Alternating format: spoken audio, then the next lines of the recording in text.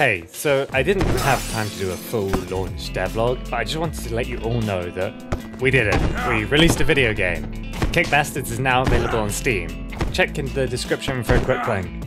It's been a long journey to get here, and I really do appreciate all of you tuning in to all the devlogs I've been making throughout the process. Now, go play and enjoy the game because it's a banger. Probably gonna be the best game of the decade. Actually, honestly, probably gonna be the best game of the century. Or maybe even, like, best game of the millennia? Or, or like, would you call 10,000 years? Because it's probably gonna be the best game of that now.